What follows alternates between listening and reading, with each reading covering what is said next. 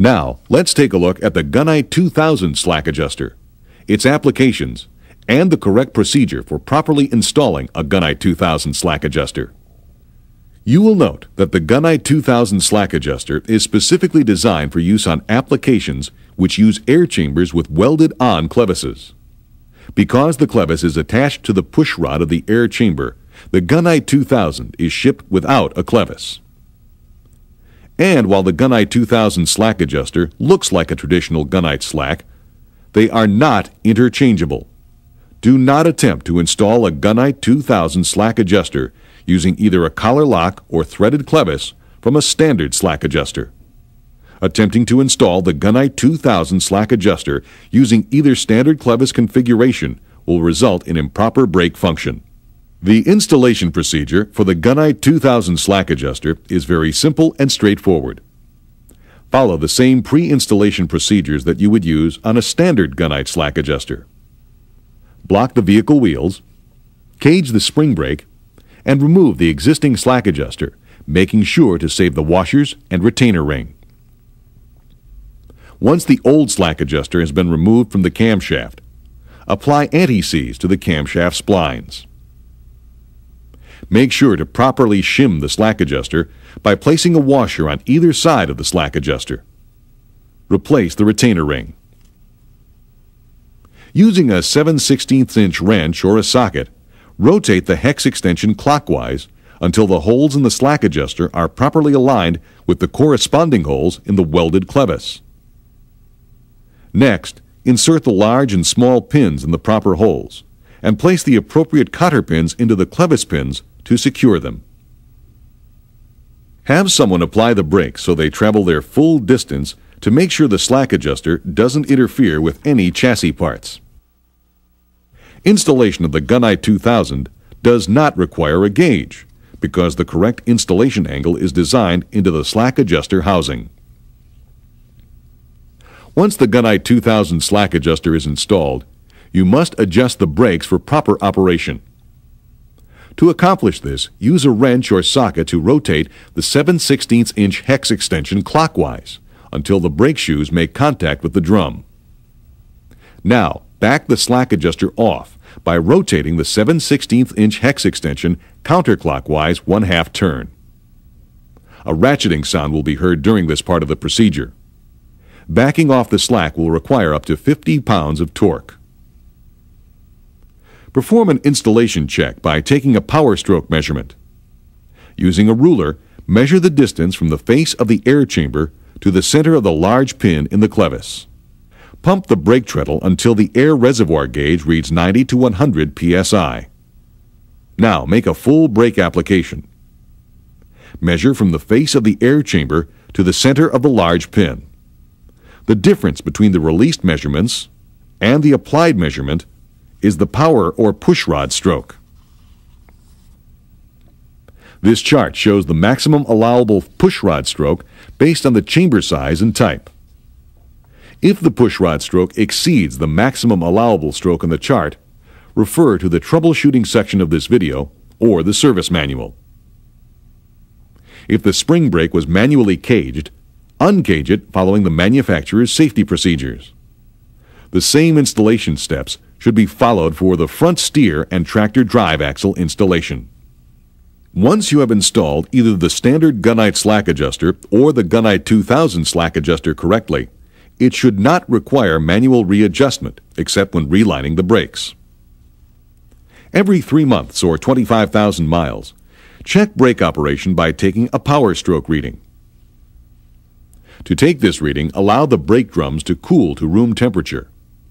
Check for correct stroke following the procedure discussed earlier. Due to different operating conditions, power stroke tests may be necessary at earlier intervals.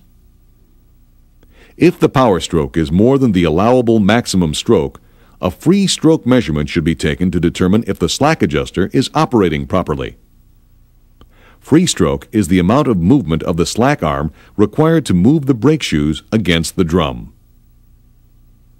To perform a free stroke test, the brakes must first be released.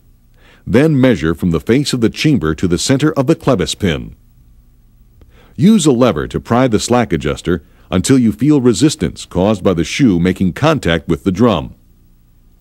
The difference between the released and applied measurement is the free stroke. The free stroke should be 3 eighths to 5 eighths of an inch. If the free stroke is less than 3 eighths of an inch, a dragging brake may occur. Check to see that the manual adjustment procedure was followed correctly. If the free stroke is found to be within the limits, the long power stroke can be attributed to a foundation brake problem. Check for missing or worn brake components, cracked brake drums, or improper lining to drum contact. If the free stroke is greater than the recommended limits, a function test of the slack adjuster should be performed. Using a torque wrench, rotate the adjusting hex counterclockwise. You should have a minimum of 15 foot-pounds of torque. If the hex extension did not rotate, or if there is less than 15 foot-pounds of torque required to rotate the hex in the counterclockwise direction, the slack adjuster must be replaced. If immediate replacement is not possible, proper brake adjustment must be maintained by manual adjustment.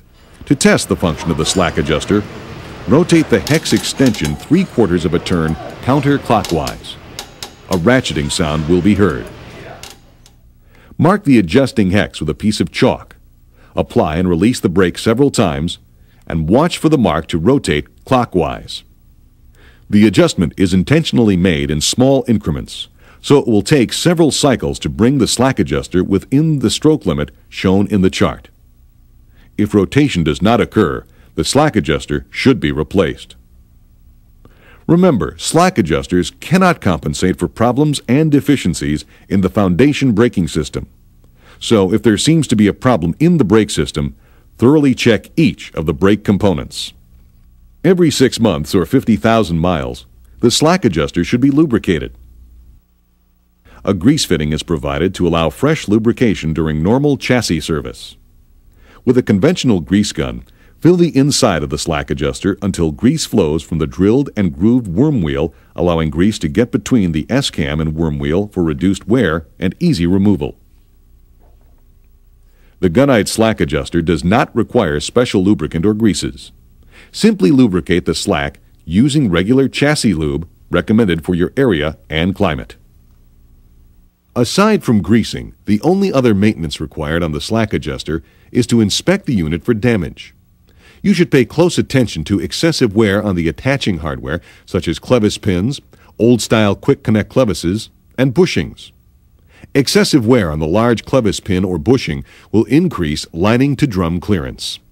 While the Gunite automatic slack adjuster offers you superior performance, no slack adjuster can compensate for problems caused by worn or damaged foundation brake parts. Regular inspection of all brake system components should be part of every fleet's preventive maintenance program. Drums which show signs of excessive wear or martensite, excessive heat checking, or other damage caused by abuse should be replaced as soon as possible to avoid further deterioration of brake system performance. Drums which show signs of severe abuse, such as cracking, must be replaced immediately. S-cams and bushings must be inspected for damage or excessive wear to the cam surface bushing areas, or damage to the splines. If worn or damaged, they should be replaced as soon as possible. Check brake shoes to make sure they are not out of arc. Inspect the linings for excessive wear or damage. Also, be sure to check the condition of the return springs. If they are worn or damaged, replace them immediately. Check the condition of the S-cam rollers for excessive wear, corrosion, or damage. Check to make sure that the anchor pins and bushings are not worn or broken. Proper and thorough maintenance of your brake system will extend the life of brake components and help maintain efficient, balanced braking. If you need any additional information or service manuals, contact Gunite at 1 800 677 3786 or visit our website at www.gunite.com.